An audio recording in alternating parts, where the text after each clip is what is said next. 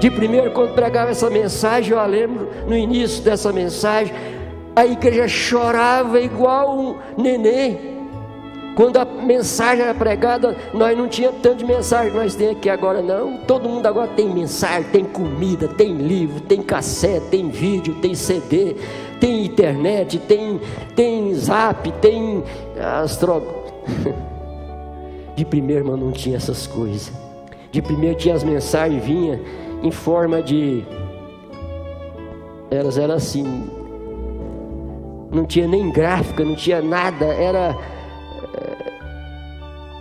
e a gente, o pastor, quando entregava essa mensagem igreja, nossa, a igreja caía num pranto, num choro. Todo mundo chorando.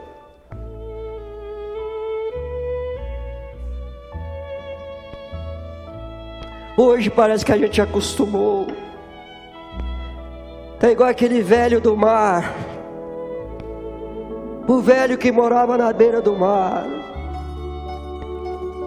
O turista chegou ali para conhecer o mar. E aquele velho morava na beira do mar. E o turista chegou, oh, eu quero ver o mar, quero conhecer o mar, quero ver a gaivota, quero sentir a água salgada do mar, quero cheirar, quero ver a brisa do mar. Tão entusiasmado, tão alegre, feliz. E o marinheiro falou: Não, eu moro aqui, Nasci aqui. O mar não tem nada não. O mar não tem nada não. O mar é esse que você está vendo aí, ó. Oh, ele tinha acostumado tanto com o mar que ele não emocionava mais, não chorava mais. Não... Os crentes vão acostumando com a mensagem, acostumando com a igreja, acostumando com os irmãos. De primeiro parece que o amor era maior, parece que o amor era maior, parece que o respeito era maior, a consideração era maior. Ou oh, Apocalipse na era de Éfeso, lembra-te de onde caíste Arrepende-te e volta ao primeiro amor. Volta o primeiro amor. Aleluia! Oh Jesus! Oh meu Deus! É igual quando você vai pescar e os peixes estão tá ali, você joga um anzol, joga o anzol, joga o peixe, o piau, pega outro, vai enchendo a sacola, vai enchendo. Joga lá de novo o piauzão, piau cabeça gorda, aleluia, e enche, vai enchendo. Mas agora, irmão, parece que você joga o anzol, os peixes estão tá tudo com a barriga cheia. Está cheio de ração. Está cheio de ração. Você joga umas horas e dá uma olhada assim. Ai, Jesus. Será que essa isca aí, será que eu como ela? Está cheio de outras coisas. Barriga está cheia, televisão. Está cheia de, de coisas do mundo, cheia de, de, de outras coisas eu estava tão alegre quando você estava pregando. Você sente alegre? Como se eu pudesse levantar e pular pela parede. Pular! Oh, que mensagem! Oh, que palavra! Eu disse: levante e pule, isso é tudo. Levante e pule. Você quer pular, pula. Quer gritar, grita. Quer louvar, louve. Ele diz para ela: levante e pule. Você quer pular, pule. E ela diz: Mas quando você continuou fazendo aquilo, e disse: As pessoas começaram a gritar. Disse: Então eu simplesmente senti como se eu fosse algo velho, nada. Então eu fui sentindo que eu não era nada, eu era algo velho, não valia nada. Ah, que você pensa assim, ah, eu também sou assim, sou velho, não estou valendo nada.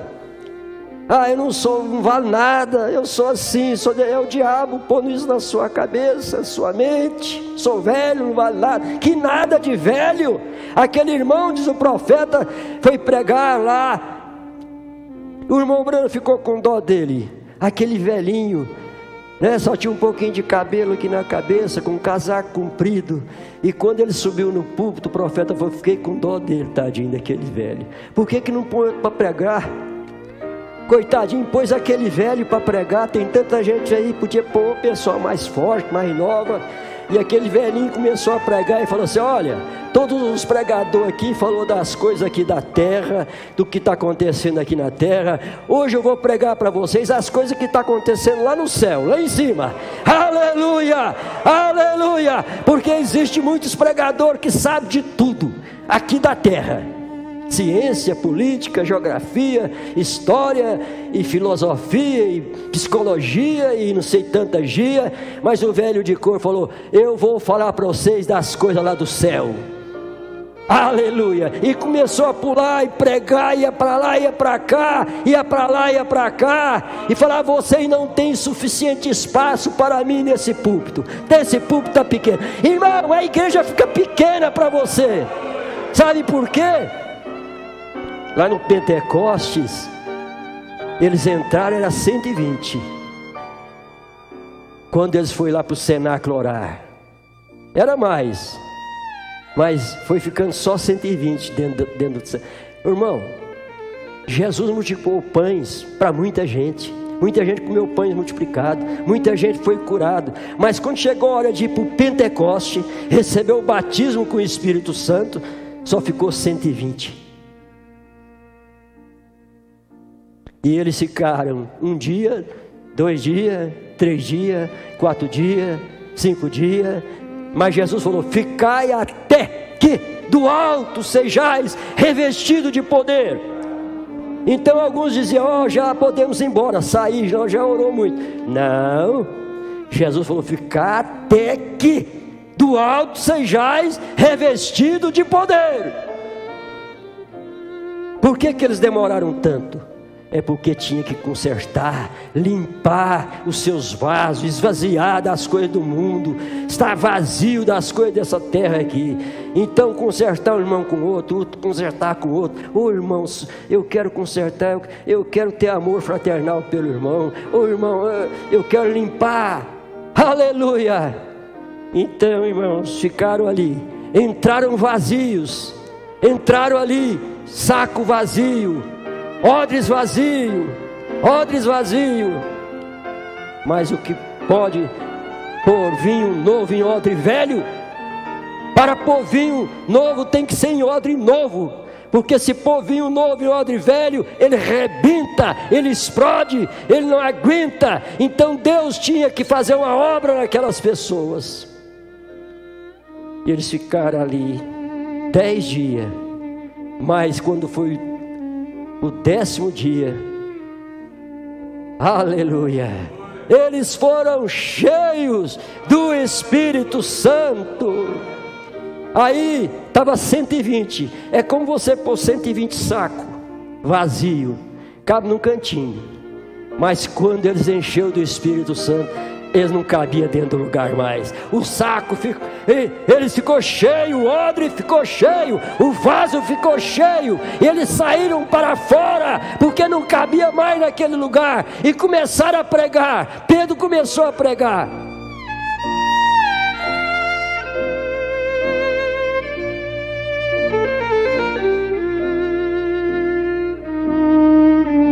Levante e pule. Isso é tudo.